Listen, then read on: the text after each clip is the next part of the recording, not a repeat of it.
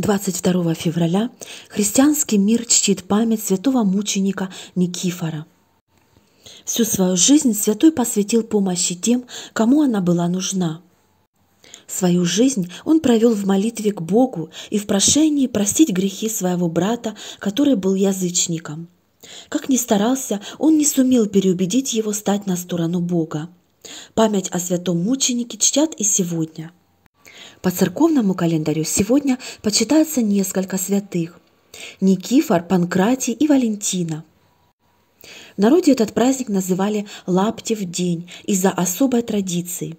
А приметы на 22 февраля расскажут, как привлечь богатство, успех, а также они предупредят о том, что категорически нельзя делать в этот праздник. День Никифора – это день трудолюбивых людей – Сегодня принято заниматься уборкой, чистить все, стирать белье и одежду, гладить и мастерить. Считается, что чем больше человек сделает работы в Никифора в день, тем богаче и успешнее он будет в течение года. Но самое главное это то, что приметы на 22 февраля говорят, что сегодня нужно обязательно починить обувь. Именно поэтому праздники называются лаптевым. Считается, что если сегодня кормилец семьи починит обувь, то он будет целый год успешным в карьере, работе и у него повысится доход. Вот что категорически нельзя делать в этот праздник. Сегодня нельзя лениться, а то денег не получишь. Не починишь обувь, не жди успеха в работе. Нельзя сегодня портить и рвать одежду. Нельзя мыть голову и стричь ногти. Также в этот день было принято купить новую обувь. Это было связано с тем, что обувь ассоциировалась с жизненным путем, и если она старая и сношенная, то жизнь будет неудачной и скучной. А если же обувь новая, то вас ждет процветание и удача во всех делах. В новой обуви все планы реализовывались и все мечты сбывались. Она могла принести достаток и благополучие в жизни людей.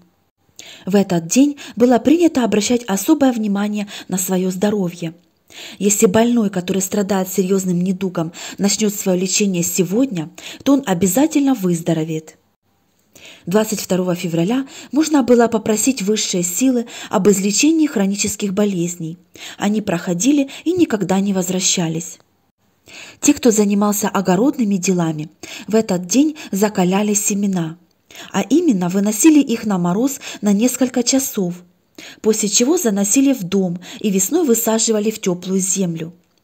Такие семена приносили отличный урожай и никогда не пропадали в земле. В этот день христиане отправлялись в церковь и просили святых о благословении на весь год. Именно 22 февраля можно было попросить о благополучии семьи и ее процветании.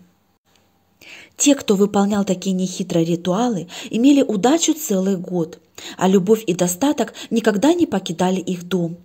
Такие люди обретали счастье и гармонию в семье. Считается, что сны в эту ночь не несут никакой смысловой нагрузки. Они показывают лишь то, что происходит у вас в душе. Вам нужно больше заботиться о своем эмоциональном состоянии и больше времени уделить себе и своему развитию. Те, кто родился в этот день, отличаются умением идти на жертвы ради родных людей. Такие люди, как правило, не жалеют собственных сил и энергии на дорогих сердцу родственников и готовы помочь в любой момент. Эти личности не знают, как можно отказать в помощи близкому человеку. Они всегда готовы поддержать как морально, так и материально.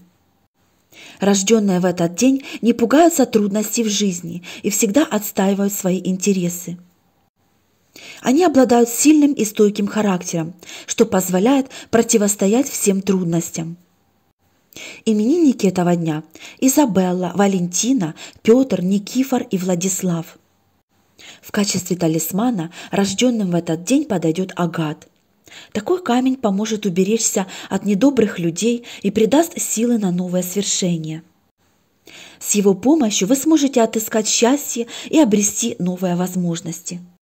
Если сегодня светит ярко солнце, то вскоре ожидайте прихода весны. Если на улице гололед, урожай будет богатым. Если поют птицы, то ждите теплое лето. Если ини на деревьях, ждите оттепель. Любое лечение, которое началось 22 февраля, будет успешным и от болезни получится легко избавиться. Если в течение всего дня оттепели капель, то жди весны еще очень долго, зима задержится. Если сегодня, 22 февраля, будет мороз и очень холодно, то это значит, что больше холодов не будет. Сегодняшнее последнее –